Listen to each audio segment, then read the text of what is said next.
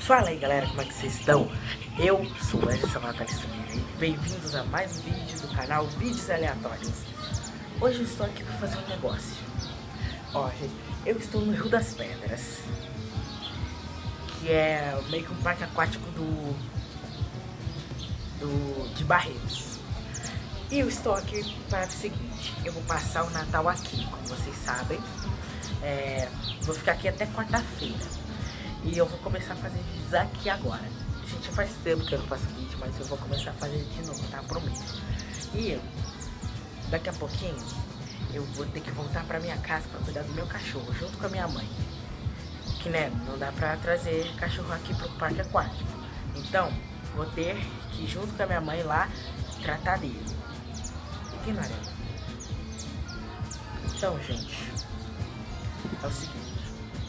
É, eu vou ver se eu arranjo um jeito de fazer vídeos na piscina aqui. Eu, eu acho que eu esqueci o negócio de... Tipo, que você coloca o celular e não molha. Deu dado, sabe? Ô Elcio, vem cá. Ah, então fica aí. Nossa, é uma preguiçosa, gente. Nossa, impossível. Então, como eu tava falando, é o seguinte. Ignorem a música, que é essa música. Então, gente, eu vou ver com a minha mãe se, se eu trouxe o negócio de. É, como vocês sabem, põe o negócio dentro da água e não molha. Então. Então, gente. Vou lá daqui a pouquinho. Não sai e deixa tudo aberto, hein? Ok. Pode ir lá.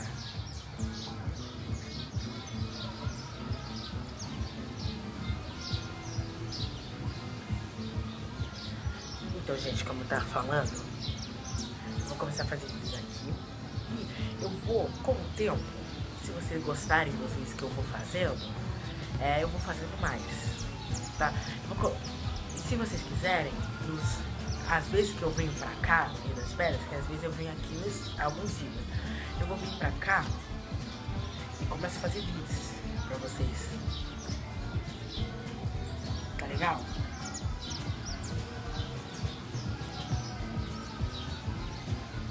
Então se vocês gostarem, deixa um like nesse vídeo, se inscrevam e compartilhem, tá? Já tô falando no começo do vídeo. Muito bem, gente. Então vamos começar, ó. É o seguinte.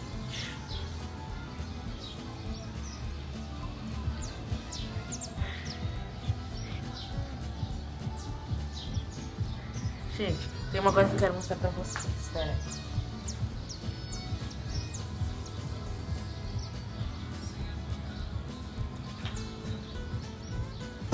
esse livro. Doutora Crest.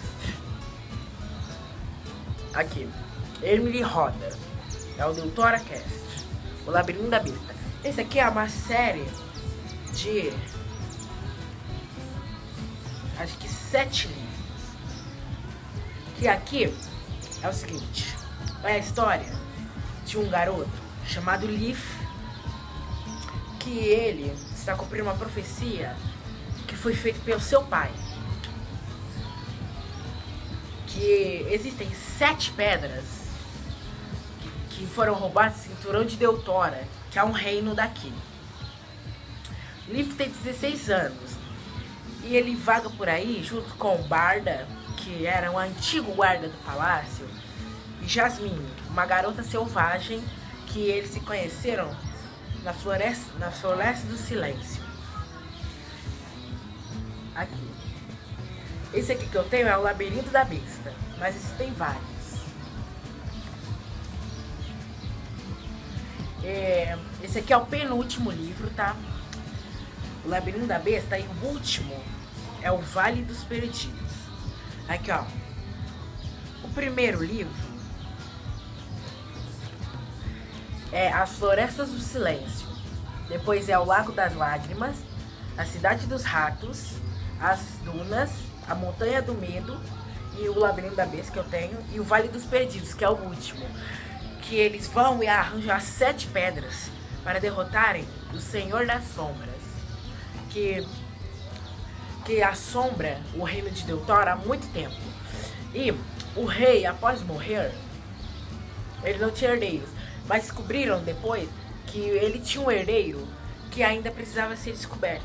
E se Liv conseguir as sete pedras para colocar no cinturão de Deutora, que foi roubado, as sete pedras, o cinturão vai mostrar a localização do, do herdeiro do trono. É um livro muito legal. Eu gosto dele. É um livro de É muito aqui é praticamente uma ilha, o reino. É o seguinte, deixa eu ler pra vocês. Até agora, Leaf de 16 anos, cumprindo uma promessa feita pelo pai antes de seu nascimento, saiu uma grande busca para encontrar sete pedras preciosas do mágico cinturão de Deutora. As pedras foram roubadas do cinturão a fim de permitir que o desprezível Senhor das Sombras invadisse o reino. Escondidas em locais assustadores de todo o reino, elas devem ser recolocadas no cinturão para, para que o herdeiro do trono possa ser encontrado e a tirania do Senhor das Sombras seja derrotada, como eu falei. Os companheiros de Leaf são Barda, um homem que já foi guarda do palácio, e Jasmine, uma garota selvagem órfã. Ah, da idade de Leaf, eu esqueci de falar que a Jasmine tem um corvo, um pássaro preto, chamado Cree. Aqui, ó. Que ambos, da, da idade de Leaf, que ambos se conheceram em sua primeira aventura nas temíveis florestas do silêncio em suas andanças, os três tomaram conhecimento de um movimento de resistência, secreto liderado por perdição.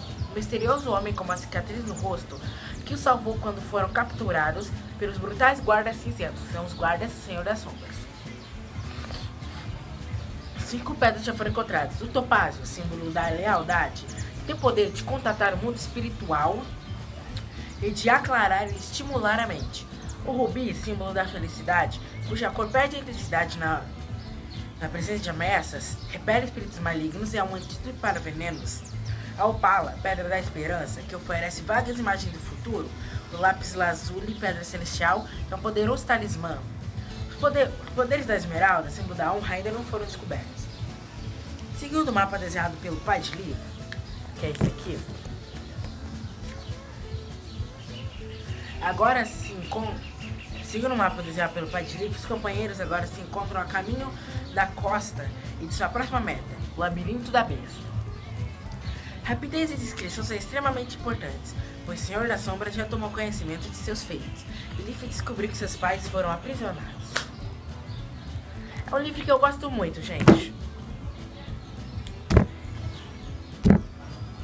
Gente, tem uma coisa que eu quero contar pra vocês. Esse livro aqui, na verdade... Esse livro aqui, gente, na verdade, não é meu. É da minha escola. Aconteceu o seguinte, quando eu estava no quarto ano, que agora eu vou para o sexto, vou mudar de escola, quando eu estava no quarto, eu tinha pegado esse livro. Eu esqueci de devolver, então fiquei pra mim. Eu não sei se eu devo devolver, se eu não devo. Eu tô querendo devolver. Mas eu, eu tenho medo que eles fiquem bravos comigo. Que, gente, eu estou na no capítulo 1, na página 8. É um livro bem legal, gente. Espero que vocês gostem. Se quiserem ler, fique à vontade.